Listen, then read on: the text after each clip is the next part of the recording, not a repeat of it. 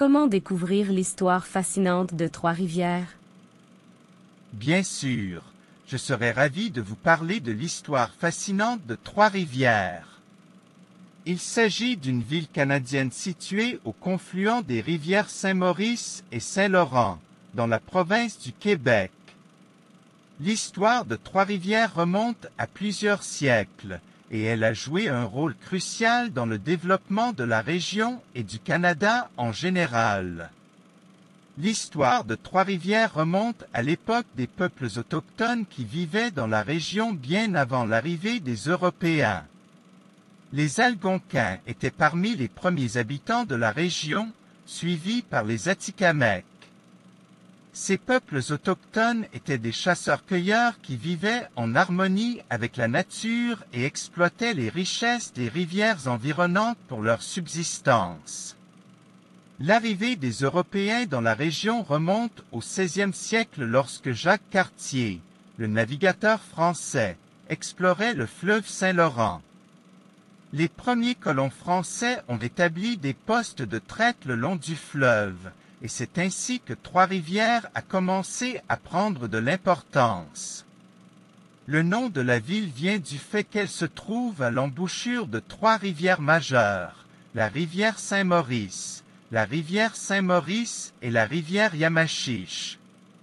Au XVIIe siècle, Trois-Rivières est devenu un centre stratégique pour le commerce de la fourrure. Les trappeurs et les commerçants de fourrure ont établi des relations avec les peuples autochtones, échangeant des biens européens contre des fourrures précieuses. Cette période a été marquée par des alliances et des rivalités entre les nations autochtones, les Français et les Britanniques, qui se disputaient le contrôle du territoire. L'histoire de Trois-Rivières est également étroitement liée à l'histoire de la Nouvelle-France. La ville a été un point de départ pour de nombreuses expéditions exploratoires et militaires visant à étendre l'influence française dans la région. Pendant la guerre de Sept Ans, Trois-Rivières a été le théâtre de batailles importantes entre les forces britanniques et françaises et la ville a changé de main à plusieurs reprises.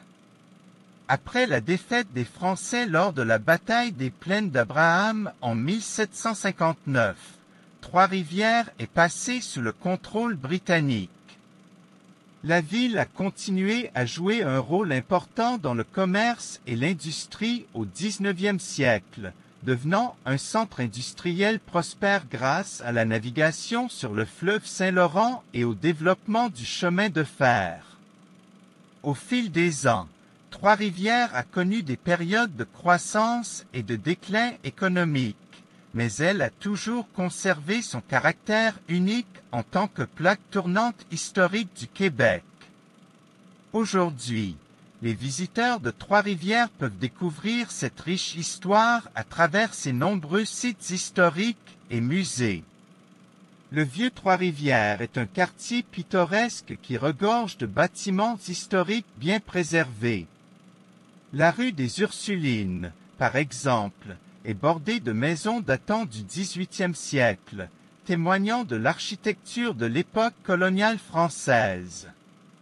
La cathédrale de l'Assomption, construite au XIXe siècle, est un autre site emblématique qui témoigne de l'importance religieuse de la ville.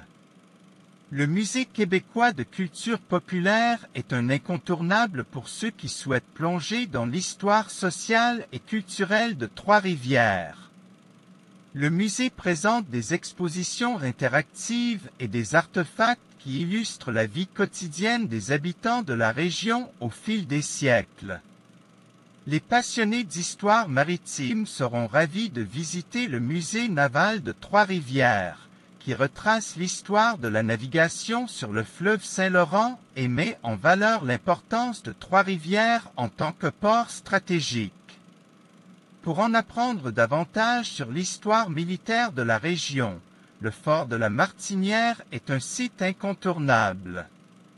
Ce fort a été construit au XVIIIe siècle pour défendre la colonie contre les attaques potentielles. Aujourd'hui, Il offre une vue panoramique sur la ville et le fleuve. Les amateurs d'histoire